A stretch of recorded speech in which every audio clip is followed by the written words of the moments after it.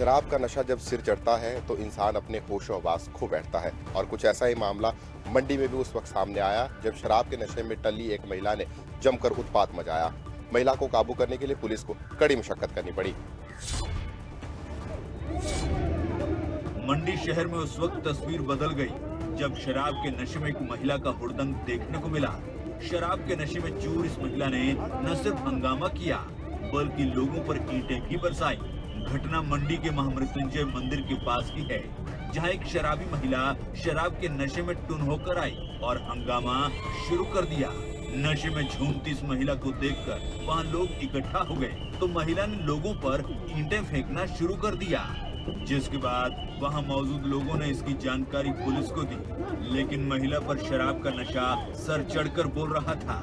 महिला सड़क पर ही लेट गई, जिसकी वजह से गाड़ियों की रफ्तार थम गई। और सड़क पर जाम लग गया। करीब आधे घंटे तक ये ड्रामा चलता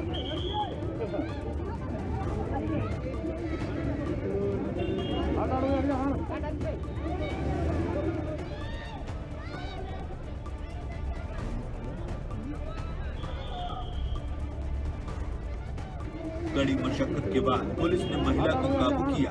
पुलिस महिला को सिटी चौकी लेकर पहुँची। अगले दिन पुलिस ने महिला को अदालत में पेश किया। जिसके बाद दो दिन की न्यायिक हिरासत में इस महिला को भेज दिया गया।